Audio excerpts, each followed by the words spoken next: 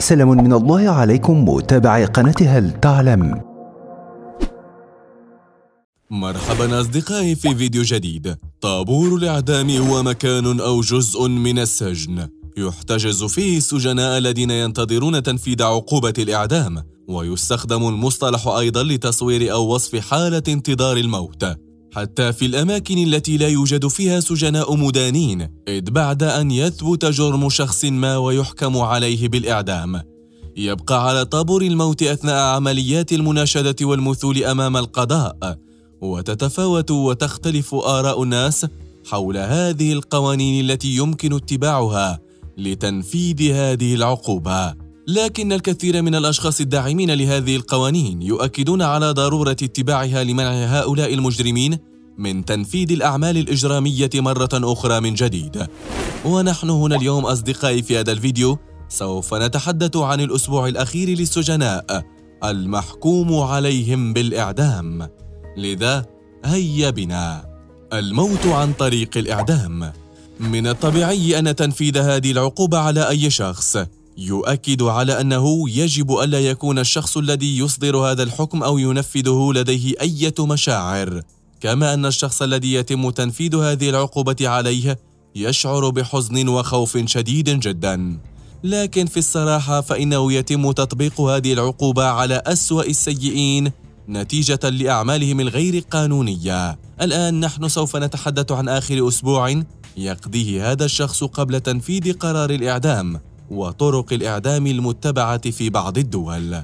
قبل أسبوع من تنفيذ الإعدام، يقاتل الكثير من الأشخاص المحكوم عليهم بالإعدام لفترات طويلة، قد تصل إلى سنين أو عقود لتجنب إصدار هذا الحكم، لكن في النهاية يأتي ذلك اليوم الذي فيه سوف يتم تطبيق وتنفيذ هذه العقوبة. قد تصل هذه المدة إلى عشرين عامًا يعيشها هذا الشخص، وهو ينتظر اقتراب هذا اليوم الذي فيه سوف يتم تنفيذ هذه العقوبة عليه مما يعني أنه تحد كبير جدا على هذا الشخص.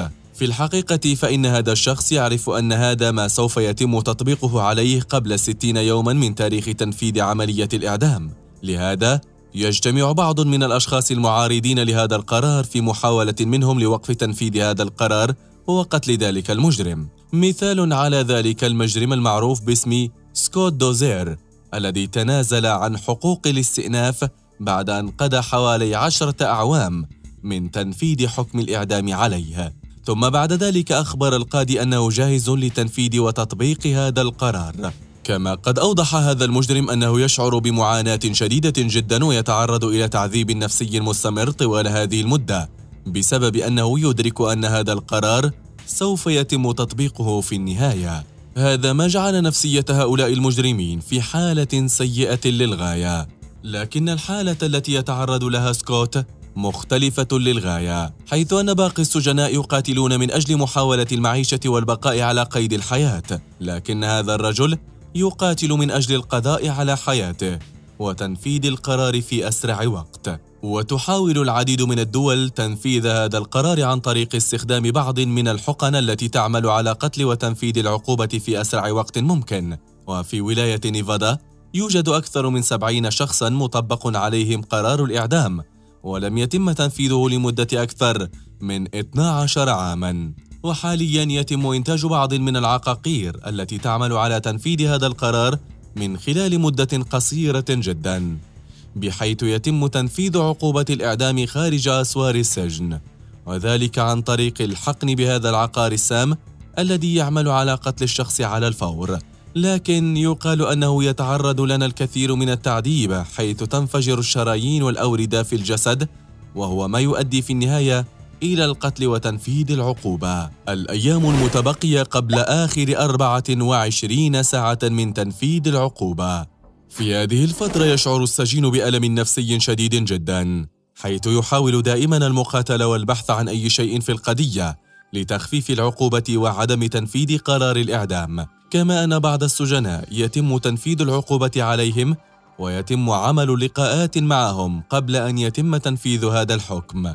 ومن أشهر هؤلاء السجناء الذين تم عمل لقاء معهم هو السجين المعروف باسم تيد باني. كما أن هذه الفترة لا يشعر السجين فقط بالتعذيب بل إن أفراد عائلته وأقاربه وأصدقائه يشعرون بهذا الشيء أيضا طوال فترة تعليق حكم التنفيذ حتى تأتي آخر 24 ساعة قبل تنفيذ تلك العقوبة. آخر 24 ساعة في تمام الساعة الثامنة مساء. في هذه الفترة تسيطر ألقابه والحزن على مشاعر كل السجناء وأقاربهم وأصدقائهم. وبعدها يتم تفتيش السجين لتأكد من أنه لا يحمل معه أي شيء يساعده على الهرب أو يلحق أي ضرر به. بعدها ينظر السجين لآخر مرة إلى هذا العالم الذي سوف يودعه ويلقى مصيره الآن. في الساعة التاسعة مساء يقال أن الزنازين التي يتم وضع السجناء فيها قبل تنفيذ حكم الإعدام تكون أكثر نظافة من باقي الزنازين لمحاولة قضاء آخر فترة في مكان ربما يكون نظيفا مقارنة بآخر مكان كان فيه السجين يحاول أي سجين في هذا الوقت أن يجعل نفسه مشغولا بأي شيء ويفضل البعض النوم لفترة طويلة تمام الساعة الرابعة صباحا. في هذا الوقت تكون هذه هي آخر فرصة يستطيع السجين فيها أن يقابل أفراد عائلته وأصدقائه وحتى أي قسيس يرغب في مقابلته. في هذه الفترة تسيطر عليهم مشاعر الحزن الشديد جدا والوداع الحقيقي. في الثامن عشر من نوفمبر من عام 2021 قام القاضي كيفن ستيت بإلغاء تنفيذ الحكم على جوليوس غونز قبل تنفيذ الحكم بساعات قليلة. مما نشر الفرحة والسعادة بين الكثير من الناس الذين كانوا يطالبون بوقف تنفيذ هذا الحكم. تمام الساعة العاشرة والنصف. في هذا الوقت يتم تنفيذ وتقديم وجبة للسجين لكي يتناولها قبل أن يتم تنفيذ قرار الحكم عليه. تمام الثالثة مساء. قديما كان يتم استخدام الكرسي الكهربائي في تنفيذ حكم الإعدام لكنه لم يتم الاستعانة به مؤخرا. وبعدها يطلب من السجين الاستحمام وارتداء الملابس الخاصة لتنفيذ حكم الإعدام تمام الساعة الرابعة والنصف مساءً في هذا الوقت يتم تنفيذ وتقديم وجبة معينة يختارها السجين على حسب رغبته. يتم تجهيزها من صباح هذا اليوم مبكرا، لكن في بعض الأحيان يتم تحديد تكلفة معينة لهذه الوجبة، وتختلف هذه التكلفة من سجين لآخر. كما أن البعض منهم كان يطلب دجاجا مقلي أو وجبة الكنتاكي، والبعض الآخر مثل هذه المرأة لم تطلب سوى كوبا من القهوة فقط. توديع مؤلم في تمام الساعة الخامسة مساء.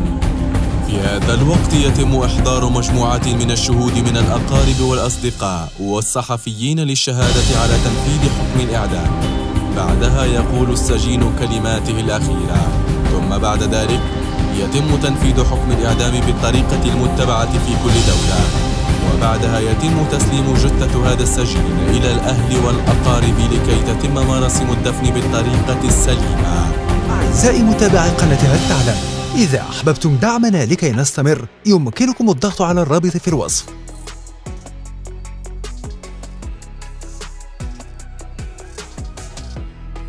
أو على يوتيوب ثانكس